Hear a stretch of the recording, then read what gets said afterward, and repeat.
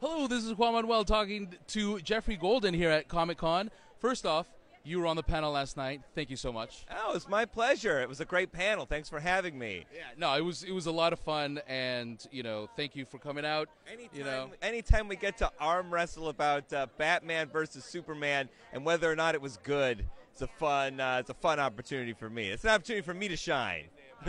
absolutely, uh, and everyone else is going to get a chance to see it. Probably Monday. I wanted to upload it, but you know, internet connections, are, and it's it's a, like an hour and a half show, so it'll be great. Uh, but we're just gonna have to wait a little bit. Um, so you are the publisher of the Devastator. That is correct. Yes, along with my wife Amanda. The two of us are publishers. Yeah. Awesome. Um, tell me, how long have you guys been around? Uh, this will be seven years in December. So I guess we're six and a half years. Six and a half years about, and uh, we've been doing conventions for about five five years. Um, you have uh, new books this con, Yes, right? absolutely. So what do we have? book on Amazon. They can get it at local bookstores, uh, and then get it on our website at devastatorpress.com. Sweet. And so what else do you have new? Terrific. Well, we've got here. This is uh, this is killing it. Uh, it's a guide to being a strong female character in an action movie written by men. Uh, so it's about uh, being a strong, powerful woman, but not too strong or powerful because that would uh, threaten the men, the lead men in the film. So it's uh, dating tips, fashion advice, all with that in mind. So it's uh, it's pretty hysterical. It's crazy. The uh, the I'll show you a little bit of the. Zoom a little bit of the illustrations here. It's really cool. So this is a chapter on on renting, whether you should rent or or die, whether you should rent or own, and these are some of the different uh, habitats you could get, like a cold, lonely apartment, or uh, you could, uh, whether or not you want to explode your uh, house in uh, with some dynamite there. It's just, it's a crazy, hilarious book. Section on etiquette here, how to let uh, how to let the members of Bug Force down easily. There's this like ridiculous there's this like ridiculous subplot in the book about uh, an action team called Bug Force and the heroes' uh, involvement in it. It's written by uh, Joan Fort, a hilarious comedian. Uh, she writes for Nerdist and she does stuff for UCB Theater. So this is, book is amazing, killing it. It's a new book and it's uh, it's here at the San Diego Comic Con, and you can get it uh, in stores or at DevastatorPress.com or on Amazon as well. Sweet. And um, we have here slash fiction through the ages. Yes, this is a devas- this is a Devastator classic. Uh, this is actually uh, yeah we this is this is almost as old as, as the Devastator itself. Um, so it's a historic look at slash fiction. And uh, Slash fiction. What is that? oh, uh, slash fiction is when uh, when a fan writes uh, two characters having sex or two or more characters having sex. And uh, so, for example, this is uh, Popeye in Three Way for the Third Reich. So this is uh, Popeye Bluto, and uh, and uh, it gets cut off before we get to Hitler in the in the mix. But it implies that that's where we're going. These are all parodies, of course. Oh, are you? It's parodies. Oh. Oh yeah, sorry. I mean, I mean, you you could probably still masturbate too. I mean, whatever, whatever, whatever floats your boat. But it's uh, meant to be humorous. And uh, here's a Benjamin Franklin slash fiction. This is the famous Join or Die, but you can see the snakes are uh, are in love with each other here.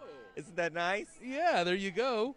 um, and we have um, this new hit magazine for all the girls to put up on their locker rooms. All the hottest doctors, all the cutest Daleks, all the sexiest Cybermen.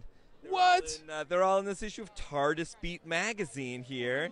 There's a, there's a quiz. Are you companion material? Here's the uh, the Weeping Angels, those stone cold hotties here, and it's a really fun uh, mashing up these two things. You, you learn you you learn a lot about both. You learn a lot more about Doctor Who and Tiger Beat by uh, matching them up.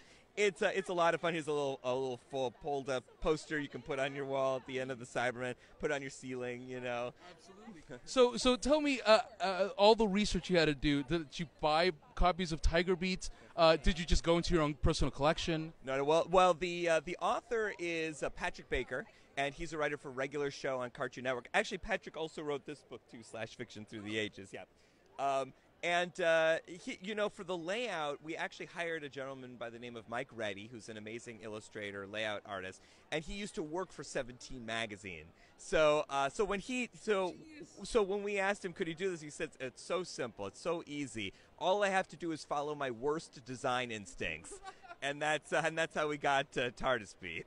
to look the way it is. That that is awesome. That you actually were able to get someone who worked on things like that. That is uh, the Devastator's commitment to detail. That's what we're all about here. We like uh, we we work really hard making these goofy, silly books that will probably end up near or around your toilet. So. No, and, and, and like you know the, the, the, the parody, like you know all the feelings. Obviously, that is Samuel French, you know, parody on the on the cover. Yeah. So it, it's like this this attention to detail that I think that the Devastator puts out. That is definitely a hallmark of what you guys do, and I think that looks awesome. Um, and then if we can just catch over here, who's who's who's this? This is Amanda Meadows, my co-publisher and author of uh, our best-selling book, We Don't Think You're Racist. What? it's a book for white people who are concerned they might be racist. Hmm. As you can see, it, there's a smiling faces of people of color, and then uh, and then reaffirming phrases on the other side, meant to promote positivity.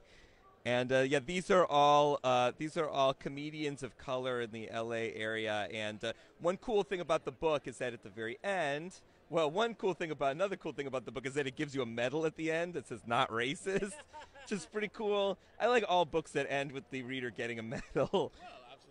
And then uh, and then there's all actor credits here, so you can follow all these uh, people of color and follow their work. And amazing, uh, they're all very talented and amazing folks. So Awesome. So uh, uh, this sold out at the GOP convention this weekend, right? Oh, definitely, yeah. We uh, and then we just shipped a bunch to Trump just for fun. yeah, just for giggles. Um, and then uh, before before we go, we've got Joan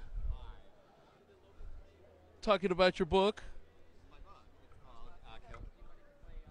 This is my book. I'm sorry. This is like eating popcorn. It's Comic Con lunch. Um, um, killing it. It's the Action Girl's Guide to Saving the World While Looking Hot. I think Geoffrey already talked it up a little bit. Did, but what was the inspiration for the book?